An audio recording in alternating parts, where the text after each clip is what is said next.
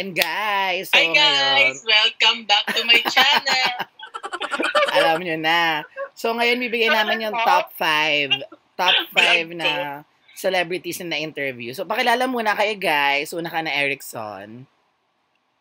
Hi guys! Welcome to James Miguel channel. I'm Erickson of Chikat Ganap. Go Oscar. Hi, I'm Oscar, Showbiz and Spice. Taray. Go Kendra. Hi guys! Welcome back to James Miguel's channel. I'm Kendra. Ang baba ng energy Mars ah. Ganda of Mars, kailangan humatak siya ng viewer. Binabagsak mo pa. Correct. Dapat Ay, itaas ba? natin yung ano, yung energy. Energy. Energy, energy. Ah, anyway, Okay go. na. Ano publication mo, Kendra? Secret nga daw, secret. Yung YouTube channel mo Secret daw. publication. Kendra Quinto nga. Go. O sige, go. Ako na mauna. Top 5 ko is si Angeline Quinto. Kasi super bait niya. Doon sa one-on-one, nag, talagang pumayag siya kahit sobrang haba na ng interview. Kaya, bongga sa akin si Angeline Quinto. Top 5. Go, Erickson. Top 5 ko is, ano, si RK Bagatsi. Kasi, kahit ang dami namin nakapil, si RK. Kasi kahit ang dami namin naka-line up doon, iniisa-isa niya talaga kami. Kahit yung ano, pocket response. Saan yan? Sa Regal? vocalist siya. Yes. So, Ba- isa siya sa ano ko. Hindi nag, ah, ano, bonggang sumagot ng mga tanong. Bongga. Go, Oscar. Ikaw na. Ako gusto ko Julia Barreto. Very fluent yung sagot niya. Hindi siya yung typical na sagot lang. Laging may substance yung answer. At classy siya. Bongga. Kendra. Top 5. Ako si Liza Soberano. Noong nakausap ko siya nakaraan, ah ready siya sa mga tinatanong ko. Ayan. Bongga. Na all kinakausap nila isa. Correct. top 4 ko, actually top 4 ko Lisken eh. Kasi sobrang, hindi sila ano, di ba syempre pag love team medyo mahirap ma-interview ng sabay. Syempre alam niyo yan mga Mars dahil minsan parang hinihatak, hinahatak yung isa, hinahatak din yung isa pa. So mahirap talaga sila interview na pagsabay. Pero pag silang dalawa, medyo mas madali silang ma-interview kumpara sa iba. In fairness, yun lang naman. Pero yung ibang love teams okay naman din, pero yun nga lang, mas madali silang ma-interview together. Top 4, Erickson. Top 4 ko is, ano, si Lou tsaka si Lou, si Andre. Lou Drain. Kasi, ano, nung PBB na nag-French con, ano talaga sila, kahit hinihila na, nagpapahintay talaga kasi gusto nilang matapos ng.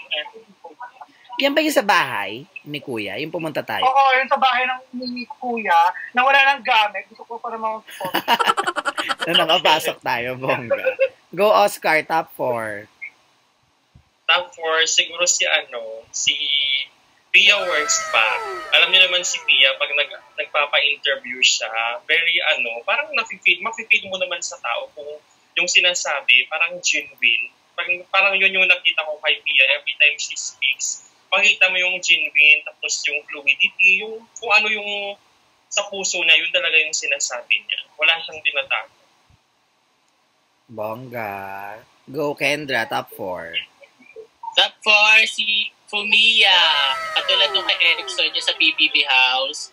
Yeah, para lang kami magkaibigan na nag-uusap. Ay, Tapos kasi- nakikipaglaro siya. True. Ganyan. Nagkanya-kanya tayo nun eh. Nagkanya-kanya ata tayo nun, kaya iba-iba yung encounter natin sa bahay doon. Ah, ah.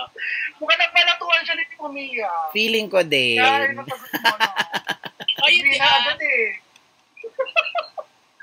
Go, top 3 um, sa akin, ano, si Dimples Romana. Dahil, um, hindi niya, wala naman doon yung Gold Squad, pero sinagot niya yung mga tanong tungkol sa Gold Squad. So, parang isa yun sa mga sobrang na-appreciate ko. Kasi, syempre, ang, ang press ko na yun para sa brand na ini-endorse niya, pero sinagot niya pa din.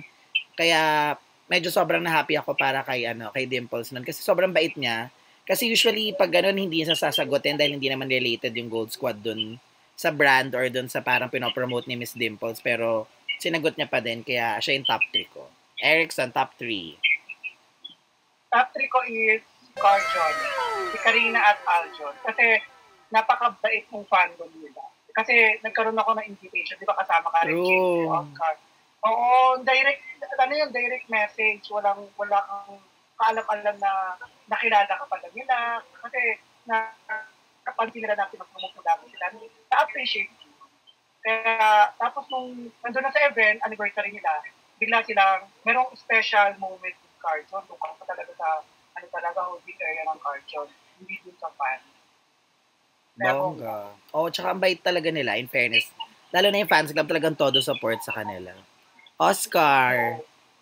Ako naman siguro top 3 ko si Miss Maha Salvador. Um, in terms kasi kay Maha, kung ano talaga yung every project na ginagawa niya, talagang may story about project, merong unique yung character niya. At saka makikita mo talaga yung may personality na artista. Kasi yung ibang artista kung ano lang yung sa project, yun lang talaga yung makikita mo. Pero never ka makakita ng artista na lumulutang yung personality, yung pagkababli niya.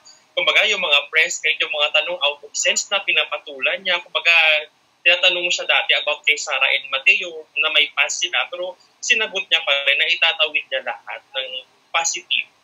True, tsaka mabait yan si Ma, in fairness. Na-interview namin din siya sa movie. Go, Kendra, top or 3. sa, ano, Top 3 si Kiara Takahashi. ay, Ay, alam niya ni Erickson. Oh, super ba bait. halimbawa, uh, na-interview natin siya, kahit konti na lang yung tao, lahat ina-accommodate niya. Oo, Talagang bomba. papa-interview siya sa lahat. Naalala ko dun sa PBB, dun sa PBB house, sila na lang Ah. yung nanay niya magkasama. Then, Ay, oo, parang ako na lang din yung huli mag-interview, in-accommodate pa ako ni Kiara. So, yun, sobrang, ano niya, Buti ka sobrang na nga bait. may isama ng nanay ni Kiara. Tsaka bongga siya, di ba? Mabait siya sa mga video greeting, si Kiara. Oo. I Sabi, sama ka na lang sa amin para ma-interview mo si Kiara. Tsaka mabait si Kiara for video greeting, ha, in fairness. Actually, lahat naman sila na nando sa BBB, in fairness sa kanila. Lahat ng PBB. Go, Wala na lang number... housemate tayo. Malapit na daw. Pag nasusunod na press ko, ni ano, i-lockdown muna daw. Lockdown na. Housemate na nga tayo, taong bahay na nga lagi tayo. True. Number two ko, um, actually, isang beses pa lang siya, isang beses ko lang siya na-interview ata. Pero si Fino Herrera. Kasi, alam ni Erickson yan, medyo yung tanong talaga is medyo pang, ano bang tawag? Ano bang term? doon? Parang, medyo PG-13 yung mga tanong, pero Explicit. Explicit. Explicit. explicit yung mga tanong sa kanya. As in, todo talaga na parang dahil ginawa niya para dun sa batang pos. Pero, sinagot niya talaga yon ng very, um, yung parang hindi mo siya mababastos dahil hindi din bastos yung sagot niya. Tsaka, basta parang feeling ko sobrang genuine ng pagkatao niya at tsaka pagsagot niya dun sa mga tinanong sa kanya dun sa interview natin for Batang Pos. Erickson, top 2. Pato ko is Liz Ken. Puro last team ako eh. Kasi, ano eh, bilang sa kanila isa lang naman. Liz Ken, kasi nung Make It With You na dalawang press con, ang bongga ng laging sagot nila. May mga pasabog. Tsaka yung pag-packet press con, parang hindi mo pina-discount ka. Parang ang down to earth, lahat tinatanong nila. Kahit abutin 30 minutes yung packet press and then yung actual press con, natapos yung packet press con pa, di ba? Paulit na lang yung ano, pero go pa rin sila. Tapos maraming binubuking sila isa, kay Enrique, di ba? Parang go with the flow sa press talaga. True. So, hindi sila yung mga nagpapahila. Ayo. Ba't may issue ka ba sa mga nagpapahila? Joke lang. Kung tama yung logo, wala kang ano. Sabi ka nga ng isang artista na nagpapahila. Wala akong maalala. Kasi ang tagal na natin hindi nagpe-press ko ni. Nagka-amnesia. Dati. May sama ng Para sa group chat may sinabi ka. Si ano ba yun?